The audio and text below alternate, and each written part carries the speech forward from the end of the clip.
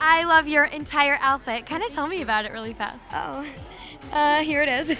I um, It's so a cute. Sophia dress, and I've actually had it kind of in my closet. And I was looking for the right reason to wear it, and I was like, "There's something quite magical and whimsical about Perez's birthday party that I feel like a shimmery gold dress would really do me in for." And then this kind of situation has been one of my favorite vintage top hats for a while. So I wrapped some scarves and necklaces around it, and I'm done. Adorable. Done. So, how has Perez helped your career, would you say? Or what brings you out? Why do you want to be here to celebrate with him? It's funny because you're always going to get backlash. You're always going to get criticism. But Perez can be the biggest fan and motivator of people who are doing it right. People who care about their career and they care about themselves and they care about people and they're nice people. Like he lifts them up and he rallies people to be behind that.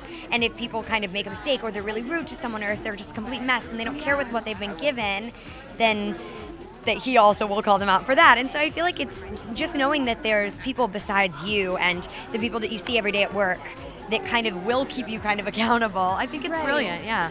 Well, I know that Jessie's picked up for season two. Yeah. So, what can you tell us about the new season? Yeah, Jessie season two.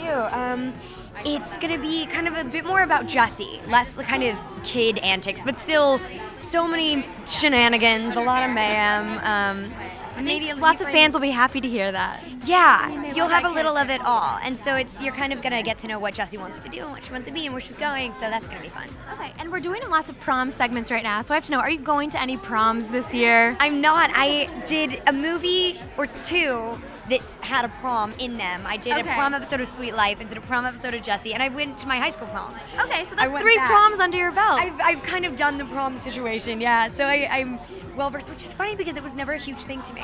I was like, meh, prom, I'll go with my best friend. And my best friend and I promised each other we would go. And um, I was filming, I was working, but I flew back and went to prom with her, and I was so excited, and it was brilliant, and we had a fun time. It was like Monte Carlo themed, and it was so fun, yeah. well, now that your date tonight is another fellow Disney star. Yeah, my buddy Spencer. Spencer, yeah. So, would you ever go to prom with him, maybe? Yeah, you know what? It's, it's funny. I like kind of being from the South. I do like like a Southern gentleman, like someone Uh-huh. who will open the door for you, and I, I'm kind of into that. And so he's absolute gentleman, and he's totally chivalrous and quite a nice piece of arm candy. Yeah, right? Well, so many prom date. So many performances tonight. I mean, Backstreet Boys, Charice, Amber Riley. Who are you most excited to see?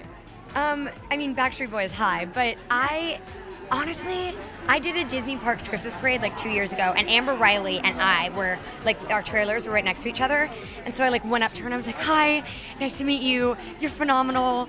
Bye." Yeah, your voice is golden. was like, and then she did the Princess medley, and I like just fell on the floor and like could have died. I was like so happy, done now. She was brilliant, and so I'm so excited to see her now doing her own thing. Kind of, I'm, I'm really excited. It'll be good. We have to get a picture with her. It'll be fun.